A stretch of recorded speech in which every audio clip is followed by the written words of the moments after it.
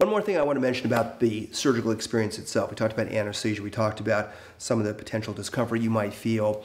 Um, is what it feels like in the operating room. You know, I try to create a, a, a, nice atmosphere in the operating room itself. I, I dim all the lights. The patient is monitored, but the monitor is silenced. Uh, it, it, creates a very calm atmosphere.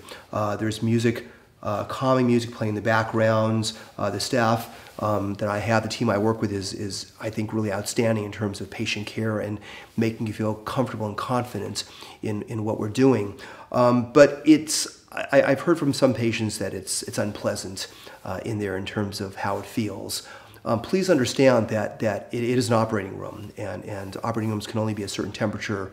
Um, historically and by definition, we do what we can in terms of trying to create uh, the right temperature for the patient themselves with warmers but it, it's also, there's, there's liquid too. This is water-assisted liposuction. There is a lot of fluid. So there are times when you're going to feel cold in the operating room, uh, despite it not um, necessarily being that cold outside because of all the liquid.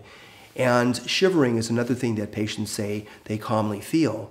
Um, and it's going on for uh, a certain reason. I'm going to explain to you why it goes on. When you're doing it this way with the water and the fluid, there is epinephrine in the fluid too. And what the epinephrine is doing is it's causing vasoconstriction at the surface of the skin. And the skin surface tends to become a little bit whiter because the blood is sort of moving out of that area. You're getting vasoconstriction. That's one of the reasons why there's such a clean removal, removal of the fat.